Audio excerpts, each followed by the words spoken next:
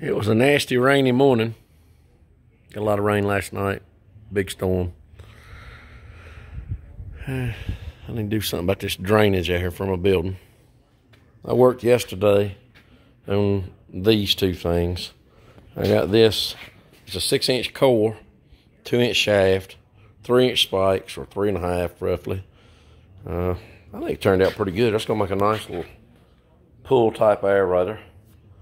Uh, then I made this Cultipacker yesterday. Got it painted, cleaned up. But I gotta get me some pins. I'm out of pins to go on where the uh, three point hooks up. And I still need to cut this shaft on this side. And I'm gonna drill a bolt hole and pin it on each side. Uh, those pillow block bearings are new, but the set screws, you never I you know, kind of just don't like to trust that. I kind of would rather have something in there, a, a bolt or something, a quarter 20 bolt going all the way through there. Stop it from pivoting. This piece right here, this main piece of channel, uh, that's the side frames of, uh, I think, a WD, Allis-Chalmers or something. The Allis-Chalmers. I don't know if it's a WD or what it was. I got another piece of that up on the hill. The tractor was scrapped out uh, there wasn't much left of it, but two real nice pieces of channel. So I saved it. Made a good little program for this. I need to make a stand for it. Uh, I ain't figured out quite how I want to do that. I really need to hook it to the tractor and sort of see where I'm at with it, where I can make a stand that won't be in the way about hooking up or in the way about backing into it, you know, because it it's not heavy. I mean, you know, you can, it's real easy to pick up and move. It ain't heavy to move, but it, the stand will have to go both ways on it. It'll have to keep you from pushing it backwards and letting it come forwards. So it's going to be a stand will be the hardest thing to make. I got these holes out here on the end, and I was thinking about just making a, a bar that went across here, put run two bolts up through there, and then weld a pin in the middle. I can put like a hitch pin in, and then go down with like a little U bracket and put a nice foot on it. That way it won't fall over. But then I need to try to figure out a way to stow it back on there.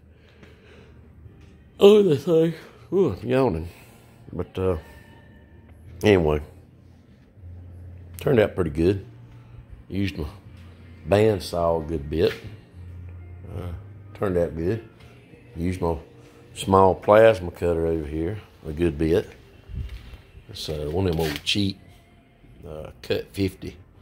It works good. They say it'll cut, you know, 3 eighths and stuff like that, but it struggles with that. I cut that, and that might be a quarter. I don't know.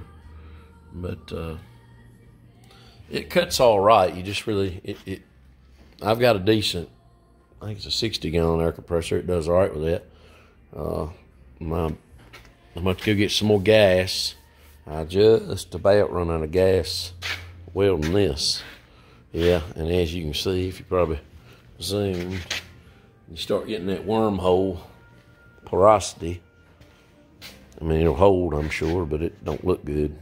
Start running out of gas. I was in a hurry to try to finish that, and anyway, put that thing, that thing on. I'm gonna make, like I said, I'm gonna make that into a pull type. That's uh, six inch tube.